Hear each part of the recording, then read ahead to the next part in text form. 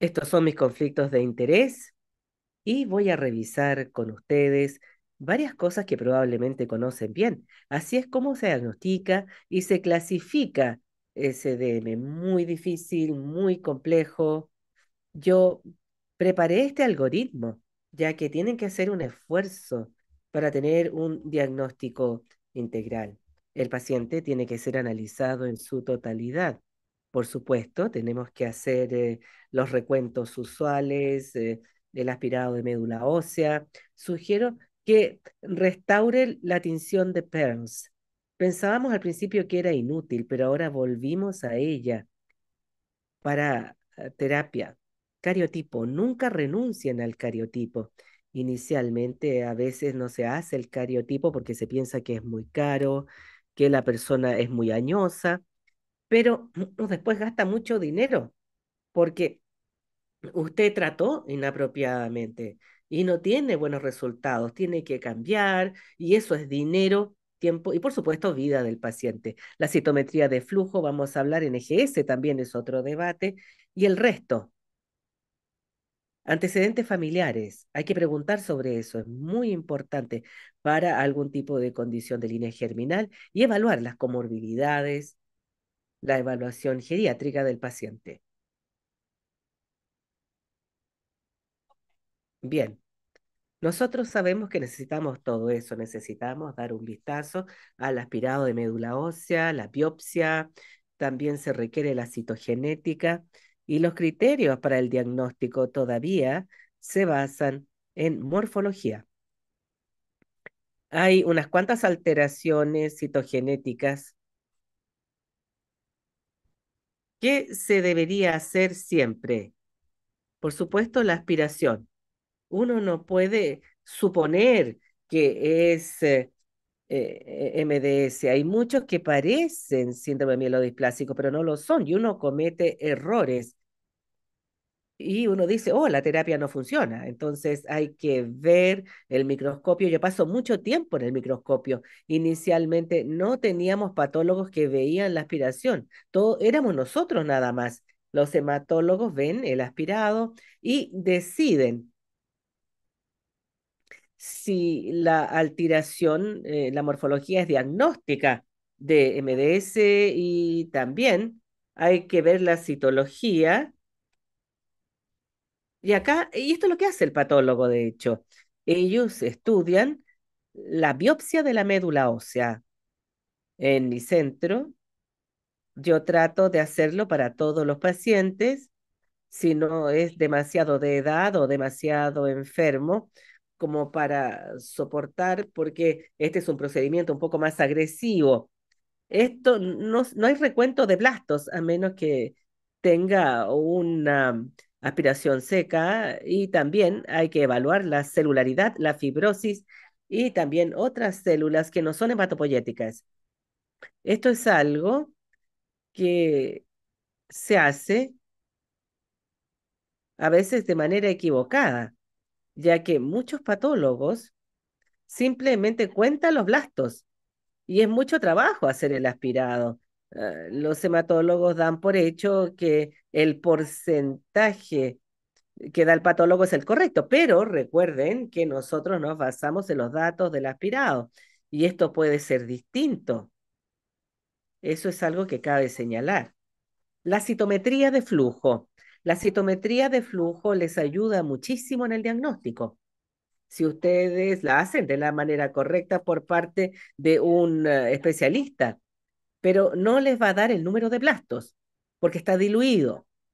Lo que hace es darles una idea de las alteraciones displásicas si es que tiene un gran panel de anticuerpos.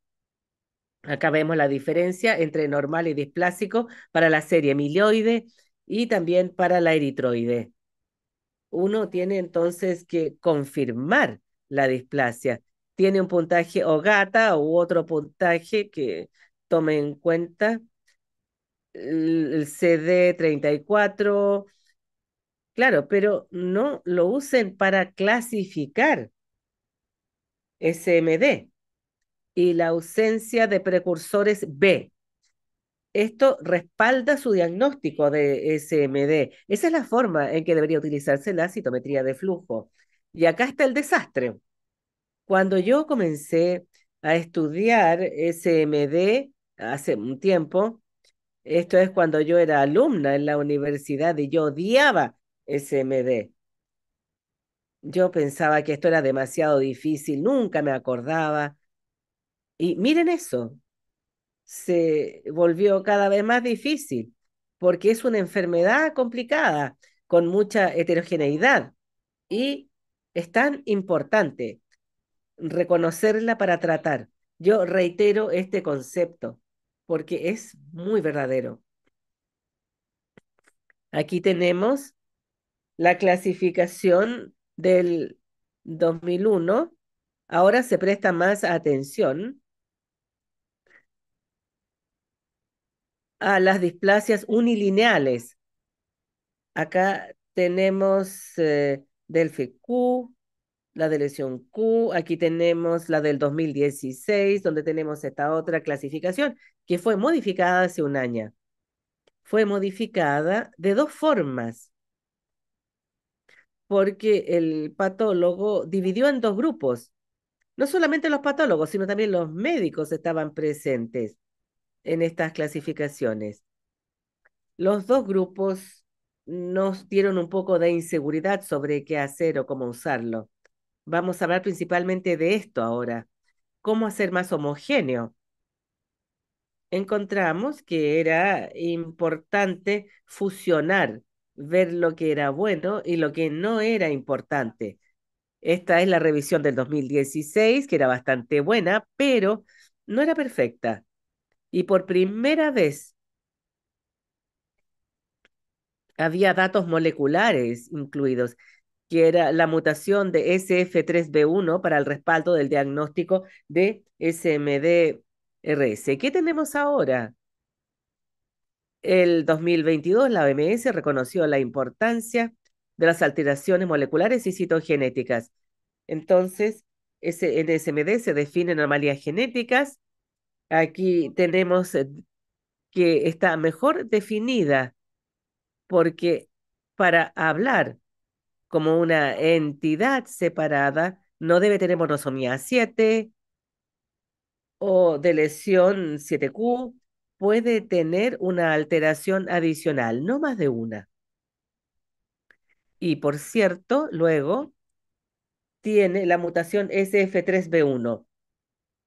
La clasificación de la OMS reconoce estos subtipos moleculares de SMD, pero hay un pero.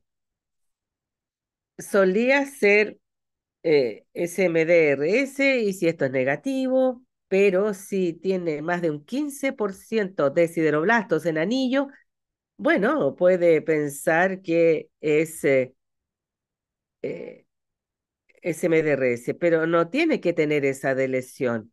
Podemos hablar otra hora sobre SF3B1, que es eh, mal pronóstico, y la monosomía 7 o cariotipo complejo. Todo esto excluye la definición. Y luego lo peor, lo peor es el que tiene la mutación bialélica TP53. Esto es lo que le da el peor pronóstico la última respuesta a cualquier terapia y viene acompañado de un cariotipo complejo, la ATP53. Volvamos a la morfología. Lo que sabemos que es MD porque hay displasia y no hay blastos.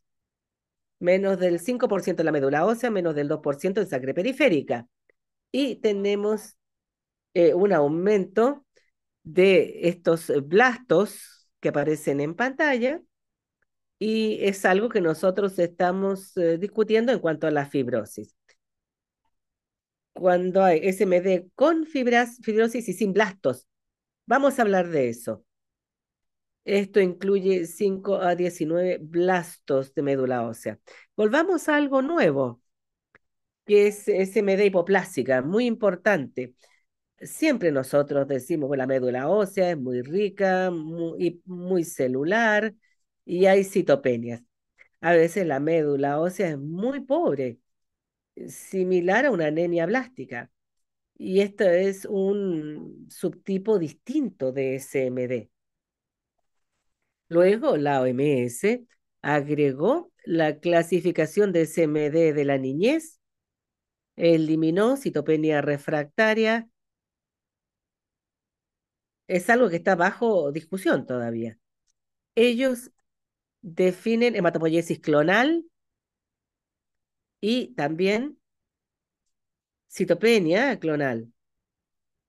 Solo una definición que no está incluida en la clasificación de SMD y algo que nosotros usamos y pensamos que está entre SMD es CMML. CMML ha sido redefinida bajando el porcentaje eh, o el número absoluto de monocitos a 500 microlitros. Y tienen que ser más del 10% de los eh, leucocitos. Y tenemos ICC, la otra clasificación.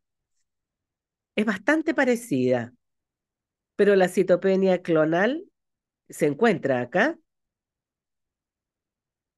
No chip, pero CCQ.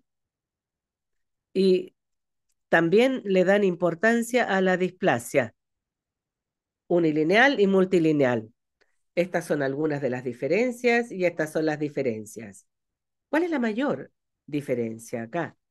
Está aquí. Les mostré que el BLAST 1 ha aumentado de 5 a 9 y después de eso tenemos SMD-ML.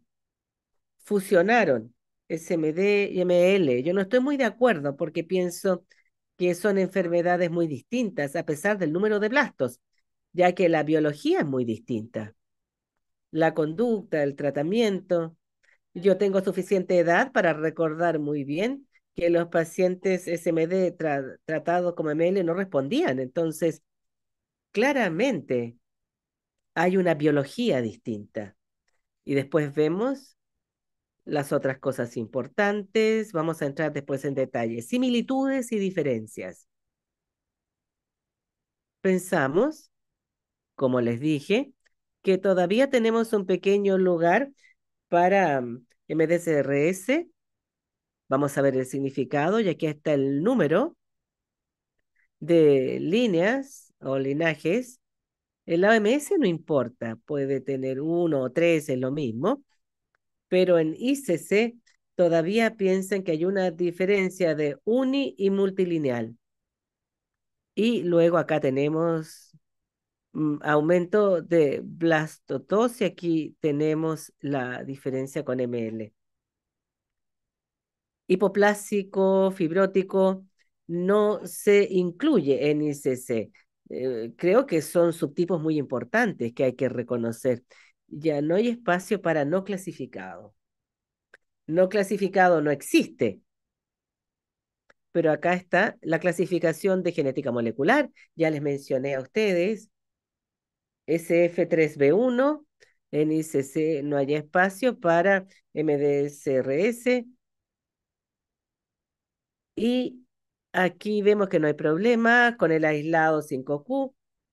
Y TP53, la OMS indica que solamente cuando la mutación es bialélica tiene un significado clínico, pero para la ICC no importa. TP53, no importa cuál sea la variante alélica. Vamos a volver después a este punto difícil. Y acá También ponen MDSML con cualquier tipo de mutación TP53. El año pasado, unos pocos días después de la publicación, un grupo de expertos se reunió y pensamos que era un poco confuso, o sea, bastante confuso, ya que hay que escribir una respuesta, un diagnóstico para el paciente. Y no lo mencioné, pero la OMS eh, estaba eh, estresando la palabra neoplasia. Eh, sigue siendo síndrome, pero el concepto que hay un tumor, una neoplasia, es lo que se enfatiza, lo que está bien. Pero yo nunca llamaría a SMD eh, neoplasia mielodisplásica. Es un poco, me cuesta un poco decirlo. Pero esto tiene un impacto para los pacientes. No sé qué pasa en América Latina, pero en Italia uno tiene que tener mucho cuidado cuando uno se comunica con los pacientes para decirles si tiene una neoplasia, un cáncer. Claro, por cierto, uno se los dice, pero tiene que modular cómo hacerlo. Digamos que el paciente va a dos médicos y uno usa el término de la OMS y el otro la ICC, uno enfatiza el cáncer, el otro no, entonces van a escribir algo distinto. Pero no solamente eso. Cuando hay reembolso, si es un cáncer o un síndrome, hay una diferencia. Puede crear confusión. Y cuando tenemos eh, los códigos eh, del CIE y los reembolsos, puede ser un problema. Eso es algo que hay que aclarar. Esto es también algo bastante difícil de abordar. Porque bueno, puede ser bueno, ya que puedo incluir a los pacientes MD para estudios de ML, está bien. Pero como ya les dije, es tan importante, quizás haya otras herramientas para estratificar a los pacientes y tener un buen pronóstico, una buena definición del pronóstico. Y para la mutación TP53 esto no es importante. Son casos muy difíciles de tratar. Muy bien. Al final, el paciente tiene que comprender exactamente, participar en las decisiones, tiene que impulsar las decisiones y proponer la opción apropiada, pero al final los pacientes, los síntomas y el tipo de enfermedad, todos en conjunto son los que tienen que tomarse en cuenta para la decisión. Dicho eso, decidimos hacer un trabajo enorme, comparar y evaluar dos grandes grupos de pacientes uno del Centro de Cáncer Moffitt de Tampa, Florida, y otro, un esfuerzo internacional, Genome for All. 2.200 pacientes del Moffitt y más o menos 5.000 de Genome for All. Y nos preguntamos cuál es el significado en términos de pronóstico y resultado de estos pacientes. Este abstract fue presentado y espera se, se presentó en EHA los pacientes fueron tratados de distintas maneras que pertenecen a las distintas categorías. Bien. MDS hipoplásico no es distinto del bajo en blastos, porque puede definir a los pacientes con menos de un 5% de blastos como bajos en blastos o no sin blastos y el resultado para sobrevida sin leucemia y sobrevida global es el mismo. No hay una gran diferencia. No tiene que asustarse con esta categoría hipoplásica. Pero con fibrosis es importante. Incluso tienen un peor resultado en términos de sobrevida libre de leucemia y sobrevida global que aquellos con blastos aumentados. Tienen un pronóstico bastante malo. No responden a los tratamientos, pierden respuestas si es que la lograron y como ven, hay una diferencia muy grande en cuanto a sobrevida global. Si tiene fibrosis mayor a grado 2 y no tiene blastos, es muy importante para sobrevida global.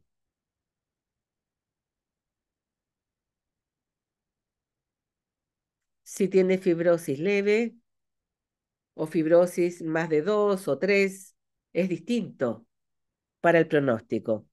Por lo tanto, afortunadamente no hay tantos, pero a veces uno quiere saber si es eh, SMD, qué pasa con la fibrosis.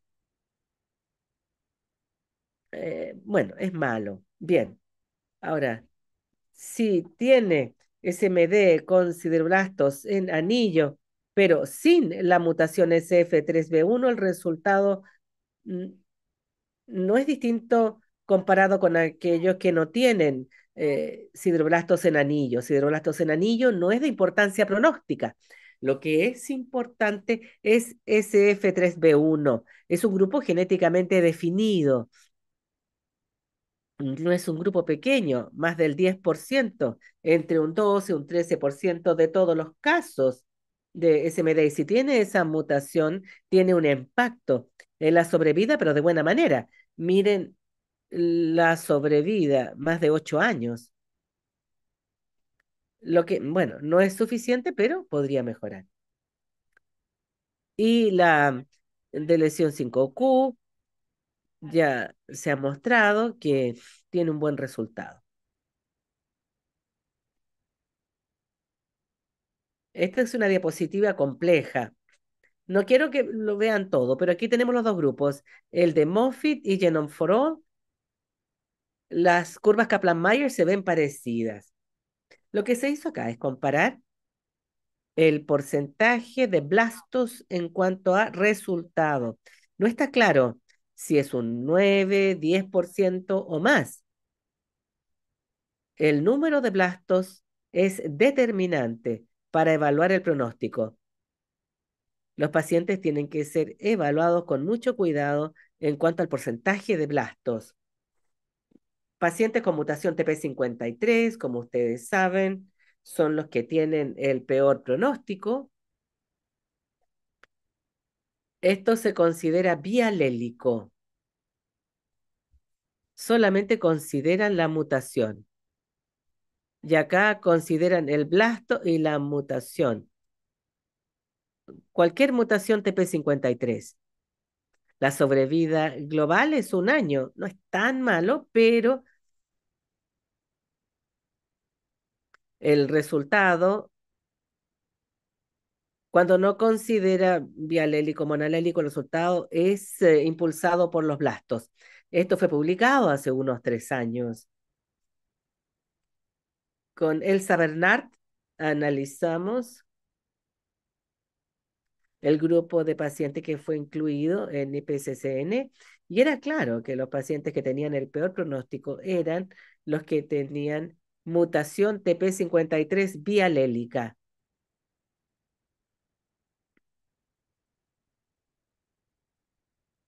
Los que tenían el wild type, el tipo silvestre, tenían un buen pronóstico y relativamente bueno. Y los monoalélicos, pero a los que le iba muy mal y que tenían una tasa muy alta de transformación AML, eran los que tenían la mutación TP53 bialélica. Ahora, los que nosotros tratamos con lenalidomida, con mutación TP53, sabemos que desgraciadamente hace algunos años tuvimos una gran conversación sobre si tratar a estos pacientes con lenalidomida, porque pensábamos que la lenalidomida seleccionaba el grupo con la mutación. Si vemos acá, los que no responden y tienen una sobrevida más breve son los que tienen lo bialélico y el tipo silvestre y monoalélico responden y no tienen un cambio en la sobrevida global. ¿De qué estoy hablando entonces? Porque me costó comprenderlo.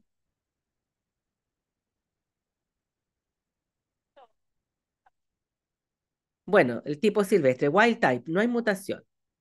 O tiene un solo hit, tiene solo una mutación TP53. O tiene una delesión del brazo corto del cromosoma 17.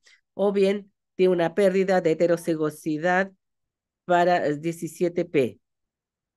Pero multihit, bialélico, tiene dos mutaciones TP53 o tiene una delesión acompañada por la mutación o bien tiene una mutación y una pérdida de heterocigosidad. En este caso, no tienen función TP53. Por eso es importante cuando tiene doble. Estas diapositivas son de Anna Stengel del grupo MLL en Múnich. Ellos trabajaron muy bien en esto. Tienen un gran banco de casos. Y uno puede entender que TP53 va junto con cariotipo complejo y recuento de blastos. Y ahí se determina la sobrevida global. Es muy importante saber de qué estamos hablando. Y en MDS sin aumento de blastos, lo importante es evaluar TP53. Generalmente es un solo hit y no tiene cariotipo complejo, es muy raro. Y si tiene blastos, a menudo tiene doble hit. Y si tiene TP53 sin cariotipo complejo, es un poco menos malo. Y luego, cuando tiene un aumento de blastos y mutación TP53, ahí tiene un peor pronóstico. ¿Qué Comrocky propuso? Es un algoritmo para poder diagnosticar e ir eh, más rápido con esto. Tenemos TP53 bialélico, sí o no, si tiene lesión 5Q, sí o no, y si no tiene la lesión y tiene mutaciones F3B1, tiene esta definición. Si hay un aumento de blastos, se habla de SMD con aumento de blastos. Si no hay blastos, entonces le queda un bajo recuento de blastos. Creo que es eh, una propuesta bastante práctica e inteligente. También propone esto y me gusta, le pedí esta diapositiva porque creo que es bastante práctica e interesante. Puede tener una fase crónica, acelerada y fase de blastos, como en CML. Bueno, no, por, cierto, uno puede tomar una foto, no creo que esto va a ser así, pero Rami tiene una idea muy clara al respecto. He estado hablando de las definiciones moleculares, de las alteraciones genéticas, Aquí vemos que es algo que publicamos hace dos años. Esta es, es la mutación más frecuente. Y quiero recordarles que solo el 50% de CMD tiene anomalías citogenéticas, más del 90% tiene algunas mutaciones. Y esto es importante para el pronóstico. Acá vemos las diferencias de los distintos subtipos SMD OMS 2016. Esto es lo que Mateo de la Porta propuso, bastante complejo, pero biológicamente determina la clasificación. Y acá está IPSSM, en que los pacientes finalmente se estratifican en seis categorías distintas sobre la base de la ponderación pronóstica de todas eh, las mutaciones. Y lo que surgió es que cambia el pronóstico con respecto a IPSS. A veces uno baja el grado, mejora el pronóstico de los pacientes, pero en otras ocasiones, con mucha frecuencia, aumenta el grado.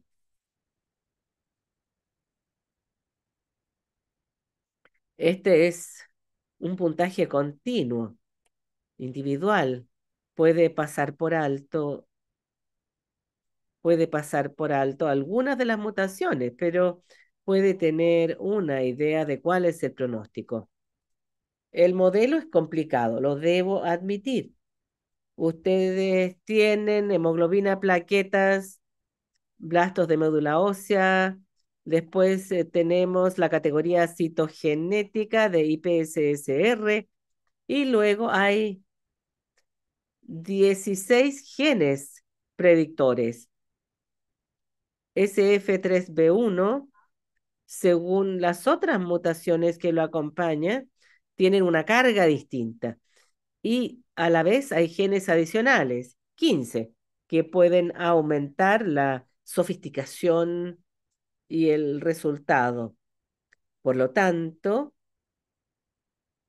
es bastante reproducible y puede tener un puntaje que impulse su idea de cuál es el pronóstico del paciente. ¿Es verdad? ¿Es solamente en ese estudio o podemos aplicarlo en la vida real? Genome for All, 21 países europeos, si lo publicamos en eh, GCO este año. Estos pacientes son un poco más jóvenes del usual. 82% tenía la medición de las mutaciones. XL1 es lo más frecuente, quizás. A ver, ¿qué pasó acá? Bueno, ¿es verdad? Sí. Vemos que acá está la estratificación de la cohorte Genome for All. Uno en realidad puede determinar la sobrevida libre de leucemia, la sobrevida global, aunque no tenga todas las mutaciones. Es menos eficiente. Uno no es tan bueno, especialmente en alto y muy alto, no, pero aunque tenga menos mutaciones determinadas. A ver, díganme si me estoy pasando de la hora. Y esto es lo que podemos hacer con IPSCM, con algunos tratamientos como los trasplantes. IPSCM no era lo suficientemente bueno para establecer el pronóstico en los pacientes tratados, pero es muy bueno para proyectar eh, y estratificar a los pacientes que recibían trasplante. No he terminado todavía porque lo que nosotros sabemos y lo que sabíamos y lo que estamos implementando cada vez más es el hecho que muchos pacientes tienen predisposición germinal cuando desarrollan SMDML con mucha más frecuencia. Ahora, cuando yo di una charla a los alumnos, yo les digo, bueno, no importa, usted ve un eh, Fanconi en su vida, no importa.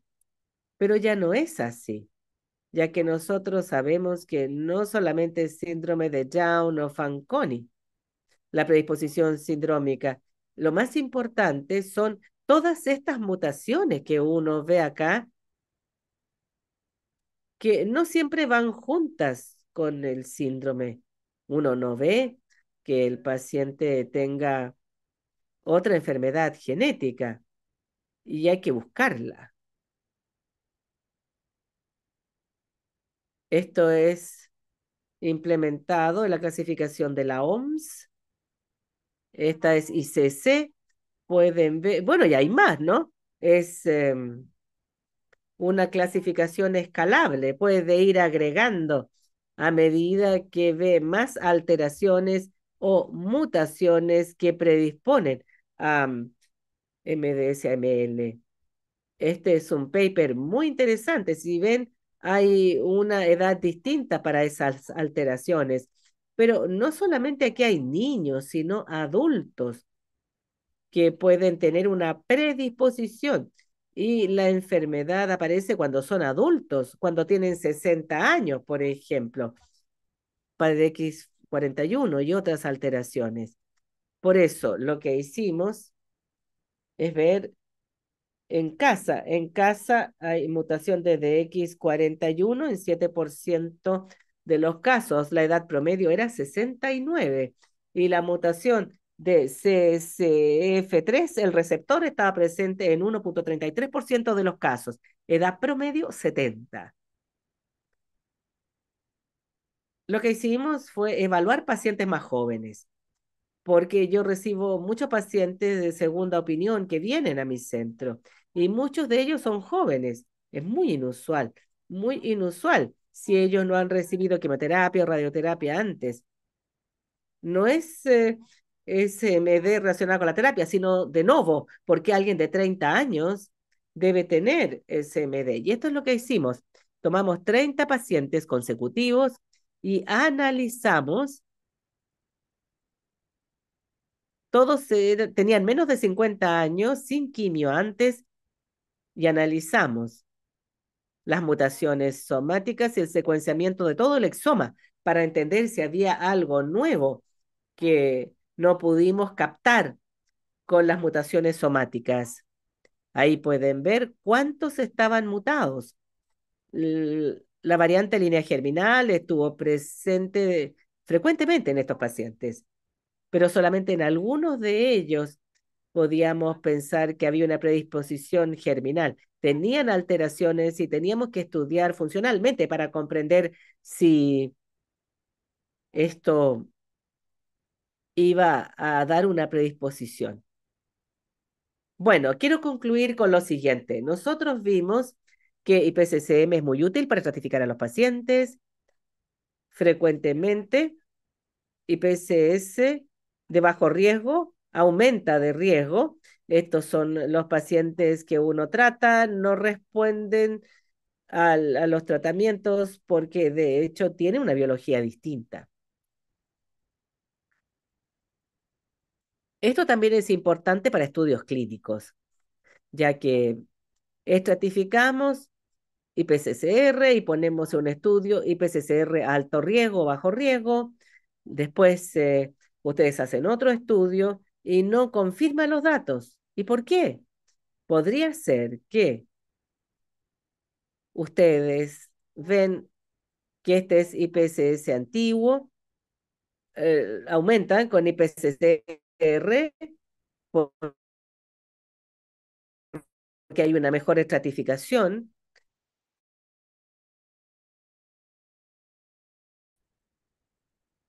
que hay algunos de bajo riesgo que se vuelven muy altos. La verdad, usted no sabe, no sabe cuál es exactamente el pronóstico de los pacientes que están en los estudios clínicos. Este era un estudio de alto riesgo. Se comienza con intermedio alto, muy alto. Lo intermedio puede de hecho ser muy alto y hay distintas poblaciones en distintos estudios. Probablemente es una de las razones por las cuales nosotros fracasamos con tantos estudios. La fase 2 iba muy bien, la fase 3 no se confirma.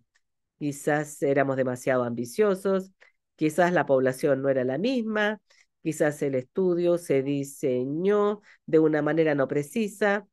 Vamos a ver, pero debemos prestar atención porque no podemos darnos el lujo de fracasar con los estudios ya que nuestros pacientes necesitan mejorar su vida y prolongar la sobrevida. Bueno, y con esto les agradezco muchísimo por su atención.